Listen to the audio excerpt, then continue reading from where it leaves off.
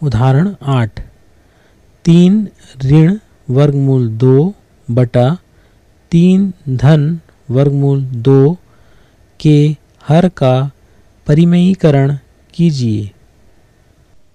हमें तीन ऋण वर्गमूल दो बटा तीन धन वर्गमूल दो के हर का परिमयीकरण करना है। यहाँ पे हर जो है, तीन धन, वर्गमूल दो है।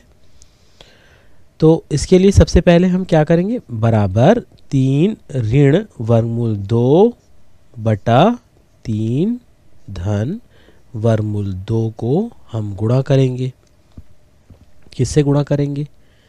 तीन धन, वर्गमूल दो का परिमयीकरण गुणांक तीन ऋण वर्गमूल दो होता है, जिसे हम अंश और हर में तीन ऋण वर्गमूल दो से गुणा करेंगे।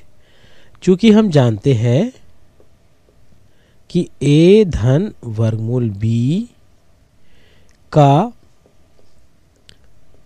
परि में कारी गुणक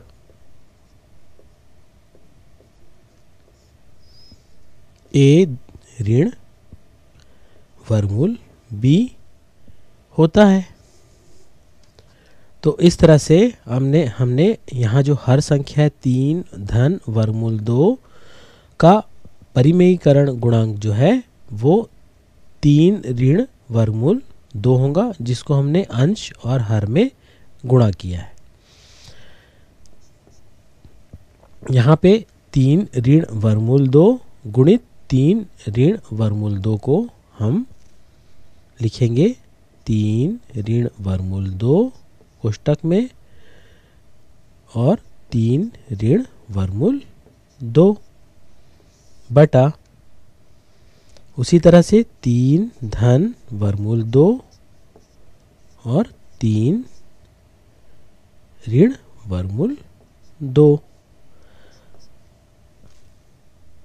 अब क्योंकि कोष्टक में समान संख्या हमारे पास तीन ऋण वर्मूल दो और तीन ऋण वर्मूल दो। तो अब हमें हम इसे लिखेंगे तीन ऋण वर्मूल दो का वर्ग। बटा, यहाँ पर सरसमिका का प्रयोग करेंगे ए धन बी, ए ऋण बी। बराबर ए का वर्ग, ऋण बी का वर्ग। क्योंकि हम जानते हैं कि ए धन बी ए ऋण बी बराबर ए का वर्ग ऋण बी का वर्ग होता है। तो यहाँ पे ए तीन है, धन बी वर्गमूल दो है। तो ए धन बी पुनः यहाँ ए तीन है, ऋण बी जो है हमारा वर्गमूल दो है। तो तब हम इस सर्व समीका का प्रयोग करेंगे। ए धन बी, ए ऋण बी बराबर ए का वर्ग, ऋण बी का वर्ग। तो हमें प्राप्त होगा तीन का वर्ग, ऋण वर्गमूल दो का वर्ग। बराबर। यहाँ पे हम दूसरी सर्व समीका का प्रयोग करेंगे। ए ऋण बी का वर्ग। क्योंकि हम जानते हैं कि ए ऋण बी का वर्ग बराबर ए का वर्ग ऋण दो ए बी, धन बी का वर्ग होता है।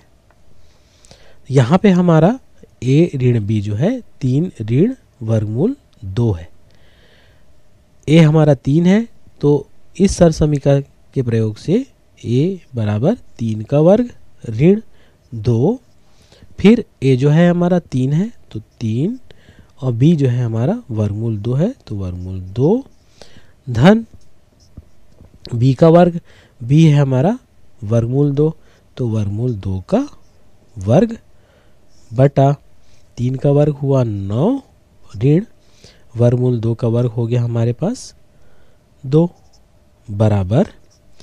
तीन का वर्ग तीन गुड़ी तीन नौ, ऋण तीन दूनी छ, वर्गमूल दो, धन, वर्गमूल दो का वर्ग हुआ वर्मूल दो गुणित वर्मूल दो बराबर दो बटा नौ ऋण दो बराबर सात।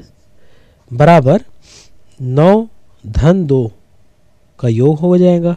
तो नौ धन दो बराबर ग्यारह ऋण छ वर्गमूल दो बटा सात। तो इस तरह से हमने तीन ऋण वर्गमूल दो बटा तीन धन वर्गमूल दो का के हर का परिमयीकरण। ज्ञात किया, ग्यारह ऋण छ वर्गमूल दो बटा सात। यह इस उदाहरण का हल होगा।